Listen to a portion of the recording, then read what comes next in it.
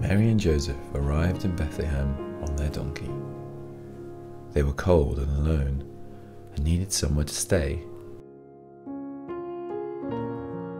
But there was no room at the inn.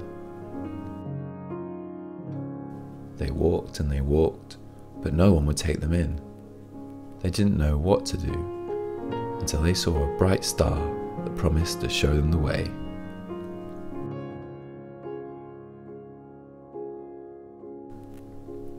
They followed the star until they came across a festively decorated stable in a lovely little yard. They settled down, and the baby Jesus was born in a manger with all the animals around him.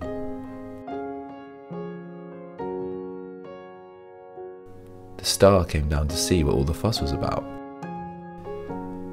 And even some shepherds and wise men arrived to see the newborn baby.